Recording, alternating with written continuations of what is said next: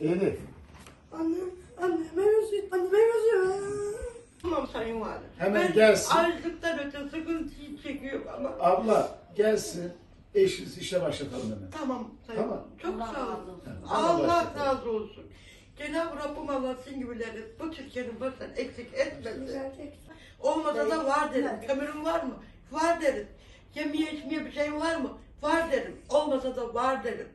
Sadece ben kurban oldum Allah diyorum ki benden kötüleri vardır, bizden kötüleri vardır. Ana- Allah öyle yapsın Anne. hep öyle geçer Anne. içimde.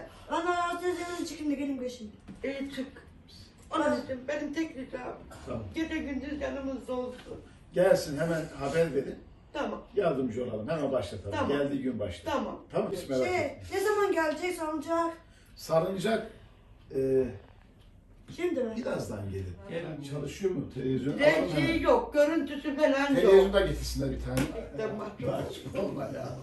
Çok mahcup oluyor. Devletimiz sizin yanınızda. ya, Merak etmeyin. Biz de devletimizin yanındayız. Allah razı olsun. Şimdi hepsi ikisi de gelecek. Hem sarılacak hem televizyon. Hemen. Merak Çok mahcup oldum sayın Mahcup valim. olma ablacığım ya lütfen ya. Lütfen. Alışkın değilim ya. Hiç kimseler böyle Şey, bir O hediye bizim, o bizim eksikliğimiz. Şey bir şey diyeceğim mi? Biz sizin yanınızda olmamız lazım her zaman. Allah'ım razı olsun. Allah'a emanet Allah olun. her adımına kurban oldum. Allah binlerce defa değerlendirdi. Allah razı olsun. Ben e, zannetme ki bu, bu kadın dilenci duası Yok, ya bir yok, hediye yok, falan yok. diye. Estağfurullah. Benim içim neyse, özüm neyse, bu dilimden gelen neyse ben buyum. Allah razı olsun. Ben bugüne kadar böyle oldum. Bundan sonra da böyle olacağım. Baş tacısın. Allah razı olsun. Hayırlı Hayır, Ramazanlar. Hayırlı Ramazanlar. Ceylan görüşürüz. Elif. Elif görüşürüz Elif. Hadi bakalım. Tamam, tamam, tamam. Hadi bakalım. Hadi. Hadi. Hadi Çok sağ olun. Çok teşekkür ederim.